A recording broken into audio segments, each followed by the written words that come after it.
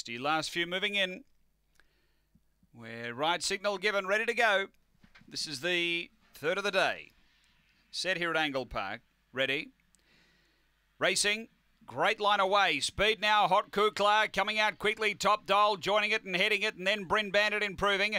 Uh, then Alinga Aggie and back at the tail. Soda Ashley down the back. Top Dial out by two on Bryn Bandit. Hot Kukla. A couple away. Alinga Aggie and then Soda Ashley on the turn. Top Dial stayed up the track a bit. Bryn Bandit runs on. It's in front. Top Dial from Bryn Bandit. And Top Dial beats Bryn Bandit. Third home is Hot Kukla. Then Soda Ashley and Alinga Aggie back at the tail. The runners around 22 and 70 after the running of race number three and uh, Top Doll. Too good here.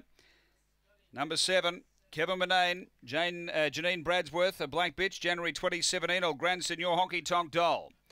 Number seven first. Uh, second to eight, Bryn Bandit.